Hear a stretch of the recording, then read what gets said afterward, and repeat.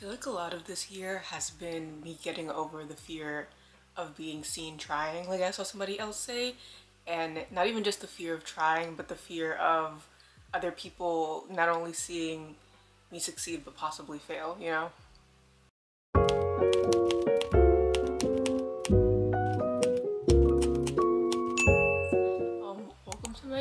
I've never done a little intro before, just like introducing myself, but I feel like as the end of the year comes to a close, it just feels right. Hi, my name is Deeva. I go by Deeva the Libra, Deeva the Libra on this channel um, because I'm a Libra my name is Deeva.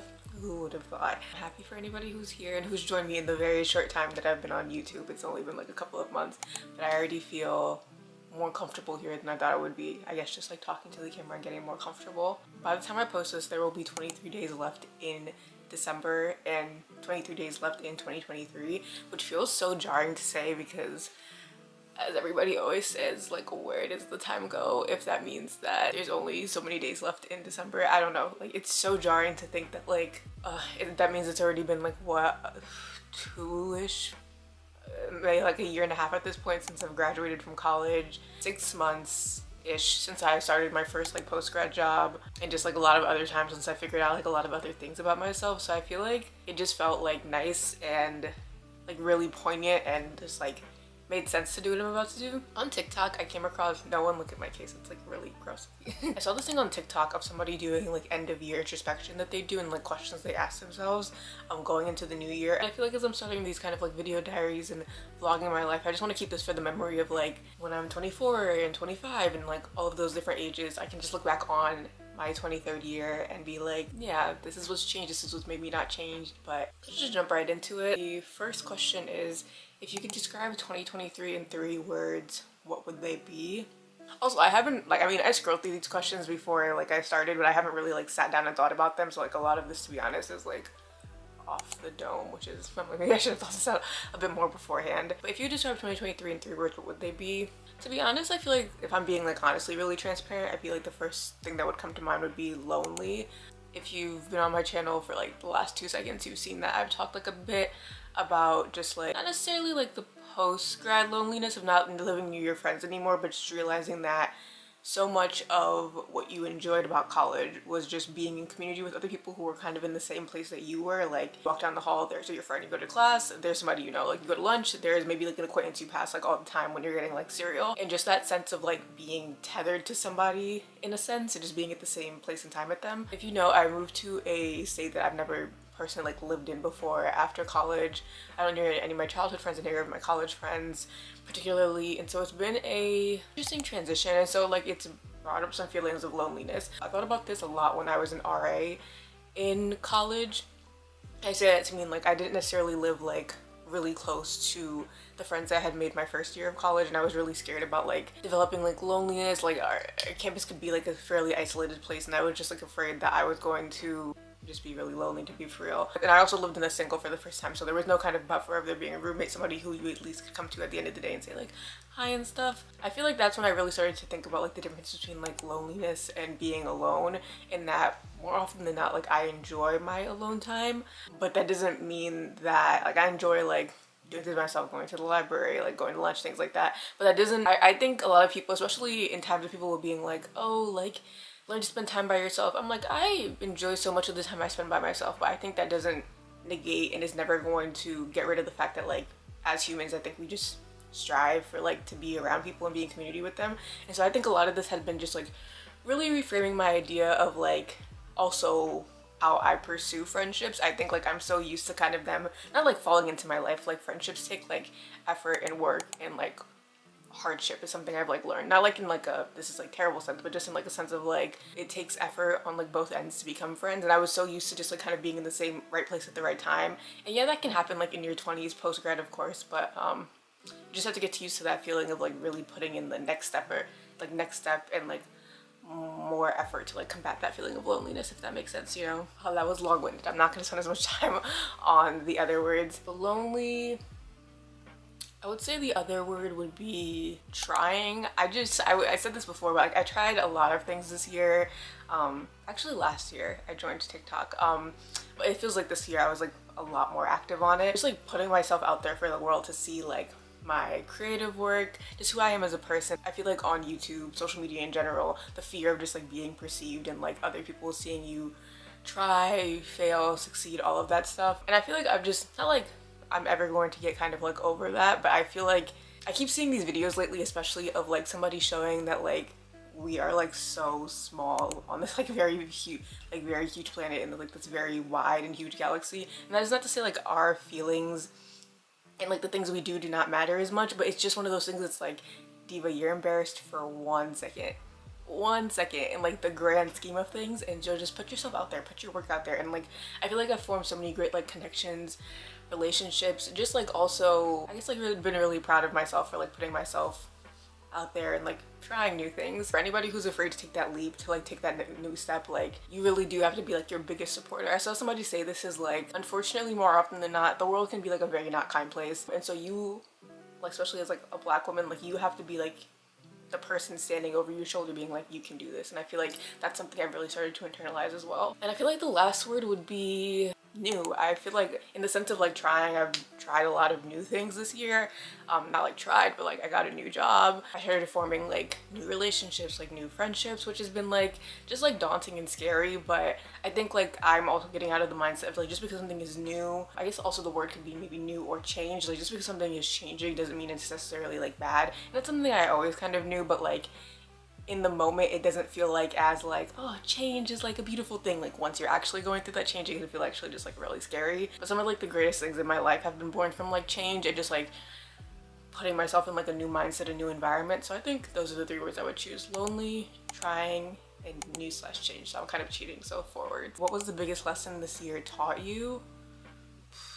I would say the biggest lesson this year taught me is that I think kind of akin to what I said before is that like you have to be your biggest supporter. It's always great of course to have a network of community and people behind you. Like when I go to the GC and like I share my vlogs or my videos and like my friends are always like hyping me up and I'm like yeah. It's always like it's such a great feeling to have that I know like like a community. I show my mom my videos and she's like yeah this is like great. Like post this. There are people behind you who just love and support you and like push you to be like better and do what you do you really do have to be your biggest supporter. I feel like i'm saying this as somebody who like not always assumes like the worst thing is gonna happen but like i do feel like i'm kind of pessimistic to say the least. And there's nothing wrong with being a little overly cautious. Like it, it is good especially in the world of like putting your life online it is good to be cautious. But just like always assuming that like the worst is gonna happen. I said this in like my bumble bff date video that like if you assume the worst is gonna happen, sometimes it does, to be for real, because sometimes that thinking will lead to like the worst thing happening. And so I feel like more so I'm just thinking of the mindset of what if you like believed in yourself? What if you thought that like a really good thing was gonna happen? What if you were just like optimistic about this? And it's not like, I guess I'm framing it like I'm like a really big Debbie Downer. It's not necessarily that, but just like always kind of going in situations with like a feeling of like oh what if something goes wrong? What if something like happens? That kind of just like anxiousness. And it's not something that never necessarily ever goes away but i think more so just like trying to combat it with the feeling of like you want to see yourself win. Deeva i want to see you like put your best foot forward you know? And then if things don't work well then you know you tried your hardest. Um it's like kind of that feeling of like people would always be like the worst thing they can say is no and i'd be like yeah, they, they said no, that is the worst thing that could happen. Now just as I'm getting older, I'm getting older, I'm 23, um, it kind of just feels like, okay, they say no, Deeva, you just have to keep pushing. You just have to keep pushing, you have to you have to do something else, you have to try a new thing. Because that doesn't mean like the end of the world, you know, like just the end of the road doesn't mean like the end of the world, you just gotta pivot sometimes. The third question is, if you could rate this year out of 10, what would it be? Okay, I've only been on this year, on this world for 23 years and now some change. My birthday was literally in September, so I've only been 23 for three-ish, four-ish months. So I guess I'm trying to compare it to other years of my life that I've lived. I guess one being the worst, 10 being the best. I would say it's like a, it's like a like a like a seven or an eight. I guess like in the sense that like there is some some things like left to be desired. I would love to travel more. Like next year, I would love to like see my friends from college, my friend from like high school more. Just be able to like have the luxury of being able to do a lot of the things that I want to do in like my free time or my life, if that makes sense. I feel like a lot of this year was like build like doing foundational things that like felt like going towards like my career. I got a new job, which is like amazing. I bought a new car, which is also like amazing but there are of course like things just left to be desired in the sense of like I wish I could just be like a little bit more adventurous this year just trying to do things like push myself out of my comfort zone just like a little bit. So I would say in the sense that like I think things went fairly well this year like knock on wood there's like a couple of days left I would say it's like a seven or an eight because I also like did a lot of fun things this year not to like take away from that. I went to Puerto Rico for the first time. I've done my book journal which I'm going to talk about at length in like another video but like that has been like my biggest sense of like comfort, my favorite hobby that I started this year at the end of last year and then like really continued this year. And it feels like interesting like as I'm reflecting on this I feel like I'm always like even as I think about it I was like okay maybe this year was like a four like a five not in like a, it was awful sense but I'm like nothing really happened it felt like but as I'm reflecting on it I'm like oh actually Deeva, a lot of things did happen. You got a new job, you got a new car. You did get to travel even though it wasn't as much as you wanted to. You went on like a Bumble BFF date for the first time. So I feel like you see, even in real time, I'm trying to like implement the things I'm reflecting on. It's just like, give yourself a give yourself a pat on the back. I would say like a seven and seven or an eight, like definitely towards the higher side. I I liked 2023. I think for some reason because I'm just really into even numbers. Maybe the 2023 just felt so odd last year, but I'm like I like the way this year turned out? I think so. Who was the most prominent person of your year? Myself? that sounds that sounds really cocky, but I'm like, I spent a lot of time I and with myself this year. A lot of time like redecorating my room, kind of making it like a cozy space. It's like kind of gloomy today. Some of you guys can't appreciate it in its full like capacity. But I spent a lot of time by myself this year, driving around, doing more things, filming myself, just kind of orienting myself and thinking about like what do you want for the next like span of your life. I think like i also spent a lot of time like really thinking about the future um, which at times was soul crushing. Um, and then i started kind of leaning more into like okay i'm always somebody who had like a very long-term plan for their life. Even when they were younger i was like okay go to college get a job be happy get married all that stuff. I feel like once i graduated i was like okay deeva we need to take it like one step at a time like one step at a time.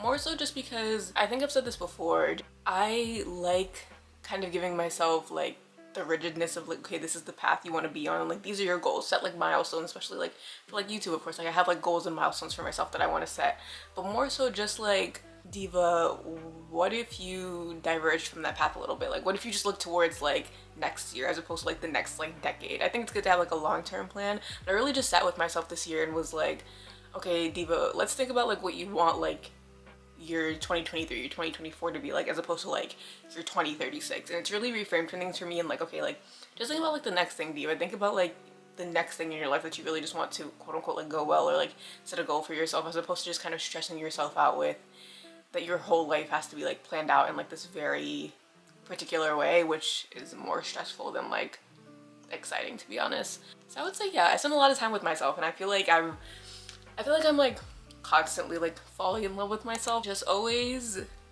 just like appreciating myself, I guess. Like I always think about it like I remember somebody said like when you're mean to yourself, like look in the mirror and just like imagine like the very little version of yourself. Like would you be saying that to her? And it's like no, I would tell her that I love her. And so I feel like I've just been. It's not always easy, of course. There's ups and downs and all those things. And it's like oh my god, I'm alone. I'm, I'm not doing anything. Blah blah. But I feel like I really enjoy my company, and that's like one of the things why, even though I'm lonely, I often don't mind being alone because I'm like, just you gotta be your best friend sometimes too.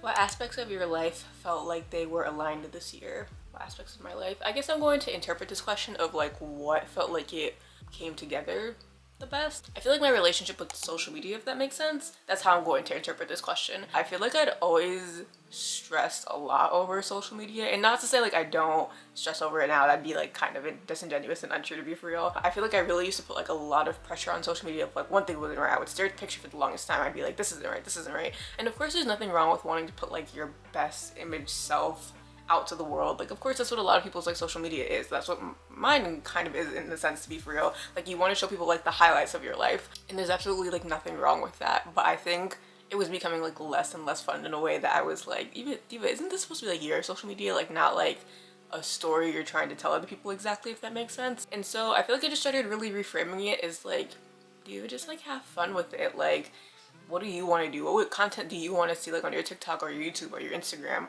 Like, how do you want to have fun with your social media? And so I feel like when those started really to align, it felt like so much more freeing and more like, oh i'm gonna like post this today or like do this today or like plan out how to like post this on like later day and it made things just like feel like they were coming like together a lot more seamlessly and I feel like once I did that I also feel like at least when it comes to like different channels I was able to like I guess grow them a, a bit more as opposed to like when I tried to like do like what do of course it's like in a sense when it comes to social media like what do people want to see but I was also like Deeva like what do you want to put out to the world? Like especially when it comes to like things about myself like vlogging or like books reviews or things like that. It's like what do you want to tell the world about like your opinions or your thoughts or like yourself? And once I started seeing it like I feel like a lot of people are on this like make social media fun again campaign.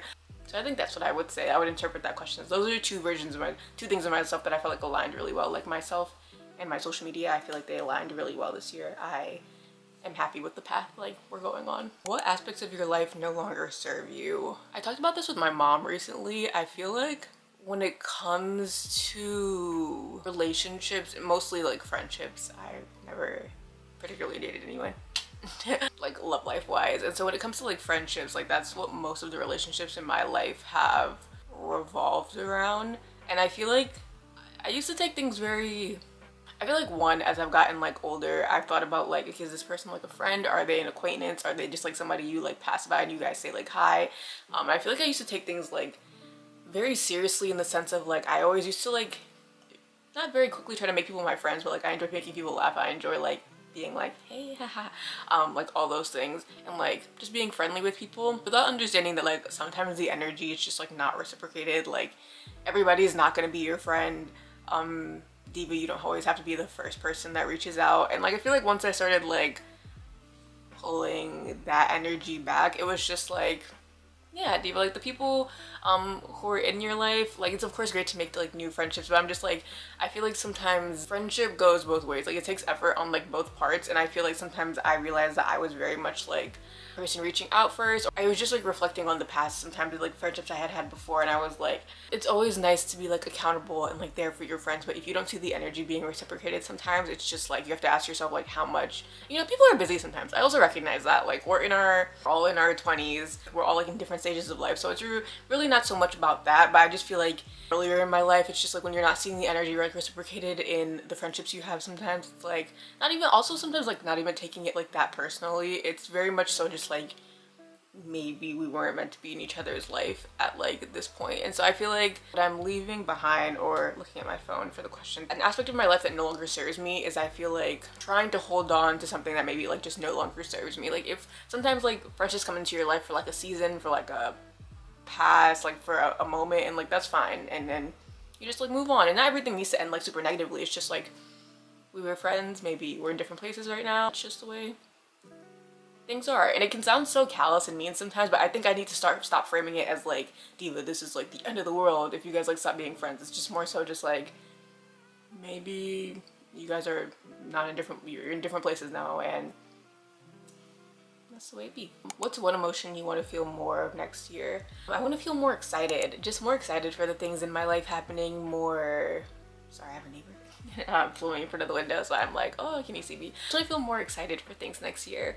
More just like, oh, I'm going to do this or oh, I'm going to travel this this place next year or oh, I'm going to film this. Just like more, I guess like looking forward to the things happening and just like really pursuing the things that I want. Like I want to feel more um, excited about like the, maybe the risks that I'm taking um, yeah, I feel like I live a very quote unquote like safe life. Absolutely, like I said, good to be cautious. Nothing wrong with that. Good to have like a little like devil on your shoulder sometimes. Like, hey, not devil, angel on your shoulder.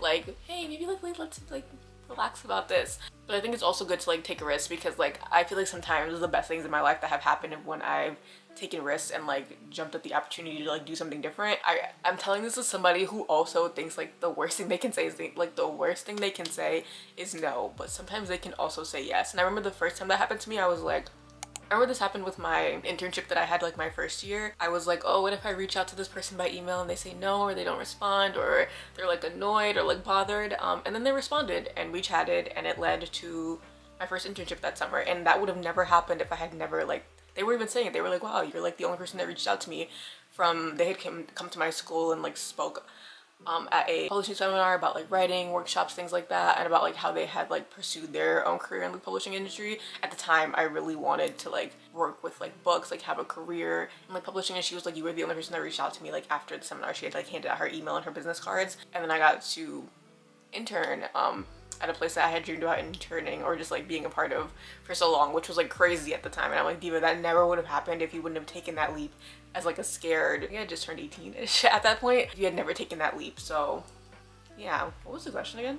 um, I want to be more excited. How did I even get there? I want to be more excited next year. I want to take more risks, I think. If the universe came to you and said you could have one dream granted next year, what would it be? I mean, I'm not gonna sit here and be like, more money wouldn't be like more money wouldn't be nice. I guess like this is like a very broad term but to be like successful in a sense which maybe the universe would be like that's really vague what do you mean? And i would be like oh, um i don't know maybe he would like i'm assuming the universe is the he but maybe the universe would leave. The universe asked me if i had a wish that i wanted to be granted. I think it would be success to find success in my life and that's a really broad term but i guess like success in like relationships and friendships in making content like especially in making content i think that is something that like maybe if the universe asked me like yeah i would want to be successful in like growing my audience and like making content and just like um holding on to this feeling I have of just like being really proud and like pushing myself to do new interesting things. I mean, yeah, I feel like it, if I had money, it would solve that. As I've gotten older, I've just learned that like you can be rich in like so many other ways outside of like money. But when you don't have money, it can make your life difficult. And so I feel like that would open the doors for me to do a lot more things. I'm really happy with the strides I'm making right now, but I feel like if the universe, I would, I would wish to be successful in like different aspects of my life if I could kind of split that wish into like a little like tiny aspects. Well, I didn't expect that to be the hardest question on this list that I would have to answer as a, apart from like the first one that's interesting. Standing between you and the best version and being the best version of yourself.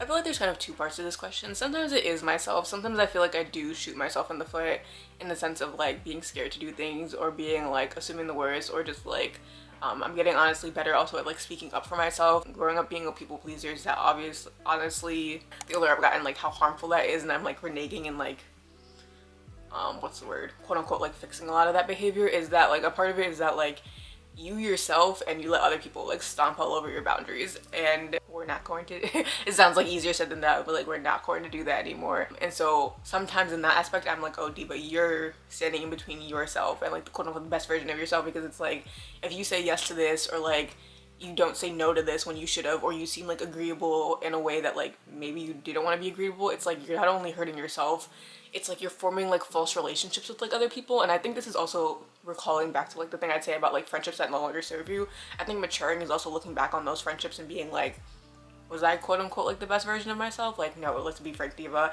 It's nice to like look back on history and try to reframe everything as like maybe everything I did was like pious and great and everything, but I'm like, maybe I didn't. Maybe I was wrong sometimes. Mostly right. but maybe I was wrong sometimes. And that's like reflection. So sometimes I did think I was like standing in the way of myself. But on the other hand, I definitely think there's been like outside forces, of course, like either you had in your life that maybe you realized like didn't like weren't supporting you or like didn't want you to succeed and you were like, whoa. And you start to internalize that negative energy, like maybe I can't do this or maybe I can't do that. Removing that from your life is also another step in becoming like quote unquote the best version of yourself.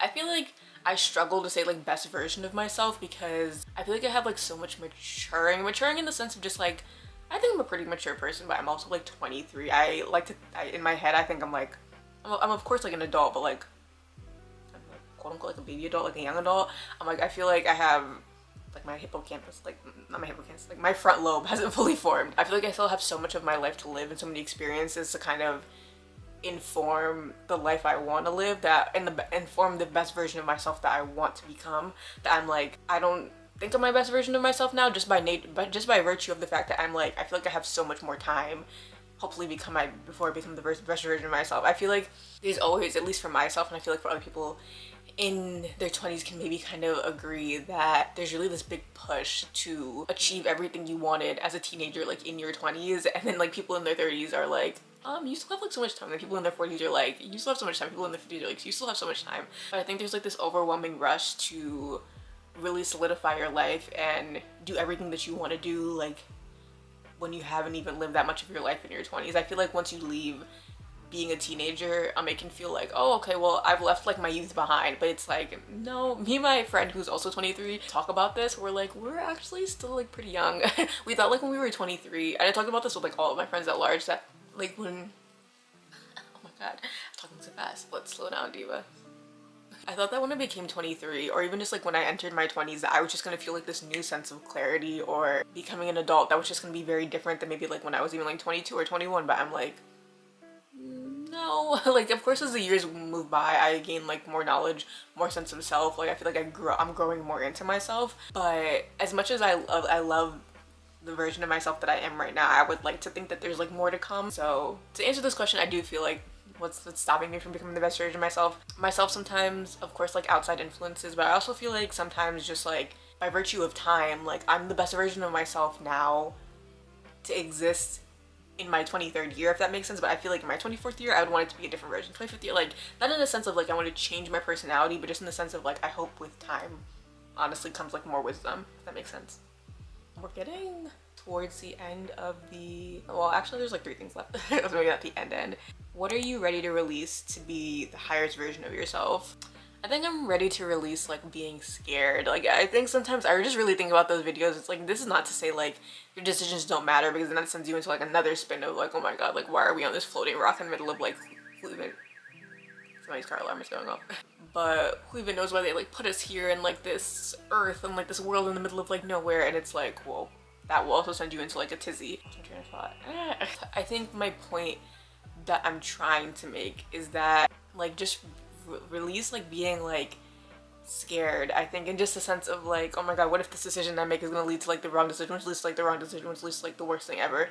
But it's like do in the grand scheme of things like this is your life. I think that's also something that like if I want to become the highest version of myself like releasing myself from the idea that like this isn't my life to live I don't know. I don't know if anybody else ever feels like sometimes that like you have like a little controller and like you're playing the game of life if that makes sense. But just in the sense of like this is my life to live. Maybe i only have like this one life to live.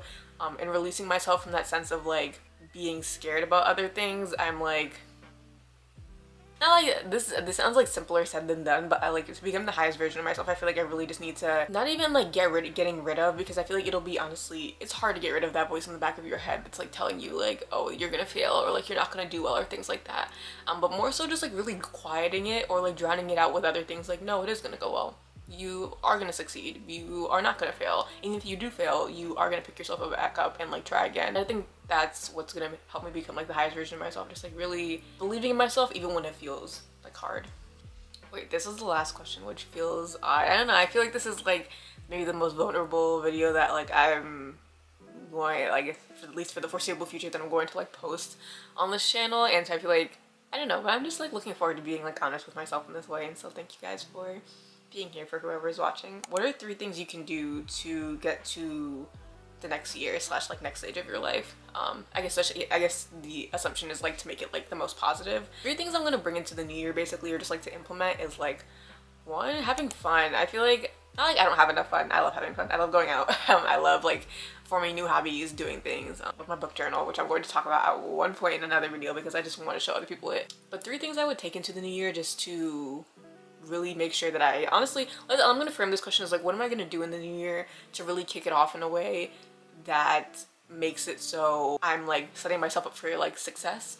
And I feel like one thing is just like like a broken record but like not stopping. I feel like I would just want to be like so consistent with my content with social media with like um, just being creative. I always wanted to be a writer since I was younger. I did a lot of poetry in college and in high school for a while to be honest like I lost my spark and I feel like I want to it's coming back and it's coming back um, and so I'm going to take that into the new year just like really believing that I can you can't do anything that you honestly like put your mind to in the sense of like you want to see it happen so just like believing myself to having a plan. Like I was saying like it's I don't stress yourself out with having like some like decade long plan that you're never going to be able to achieve but it's good to have like a plan in place for like okay deeva you're gonna take like the solo trip next year. Like i want to take a solo trip next year. Like i want to go on a trip by myself just like to another place and just like see what that's like because i've never done that like in a global sense before. I want to try new things. I want to take that step out of my comfort zone and just like put myself out there. And so yeah i think that'll be that'll be fun. And then lastly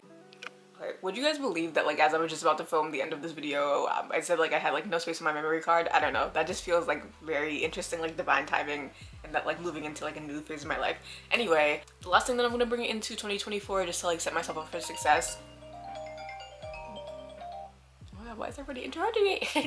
um, to set myself up for success is just like believing that the best version of myself, I guess, is like achievable like soon sooner rather than later you know? Like just that good things are gonna happen that and that not just good things are gonna happen that like i am going to make those good things happen. I feel like i have this it's good to like just leave things up to the universe but also just the idea that like deeva you have the power and the will to make things go the way you want them to in the best way possible and so that's what I'm going to bring into the new year. Thank you everybody for watching. I feel like this was just very uh, stressful but also cathartic to like reflect on the past year and I can't believe that we're going into 2024. What are you bringing into 2024 to like become either like quote unquote the best version of yourself or just like to kick off 2024 on like the new your best foot? I would love to know. Thank you for watching and I hope to see you in the new year too. I'm so looking forward.